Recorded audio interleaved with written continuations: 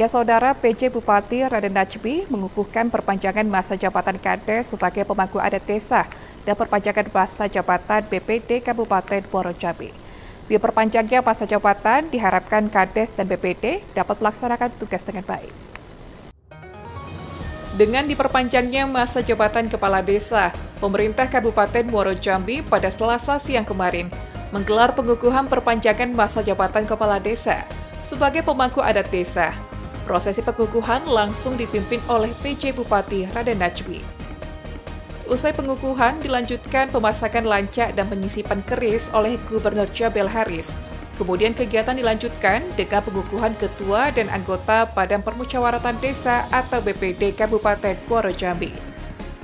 PJ Bupati Raden Najmi mengatakan, seluruh BPD diberikan penambahan masa jabatan 2 tahun Kebijakan ini berdasarkan Undang-Undang Nomor 3 Tahun 2024 tentang perubahan kedua atas Undang-Undang Nomor 6 Tahun 2014 tentang desa.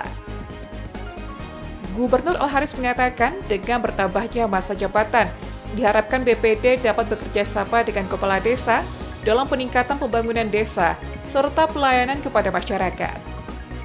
Al-Haris juga berharap kepala desa dapat memindah, pegawai dapat menerapkan adat istiadat di desa masing-masing. Kepala desa dengan bertambahnya masa jabatan diangkat sebagai pembina lembaga adat, juga menambah wibawa, menambah semangat dalam melayani masyarakat desanya.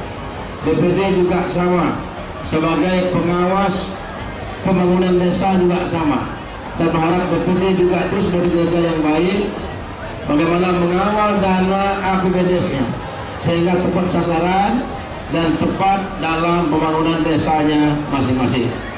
Kita berharap bertambahnya masa jabatan ini juga menambah kinerja dan semangat bagi seluruh kepala desa BPD dalam wilayah Jambi tentunya.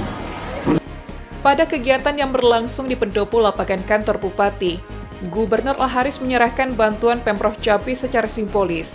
Di antaranya bantuan bagi UMKM dari program Dumisake, bantuan Al-Sintan kultivator untuk kelompok tadi, kemudian bantuan revitalisasi ekonomi dan usaha kreatif, serta bantuan revitalisasi ekonomi dan usaha produktif untuk kelompok masyarakat. Novia Putri Sanjaya, Cek melaporkan.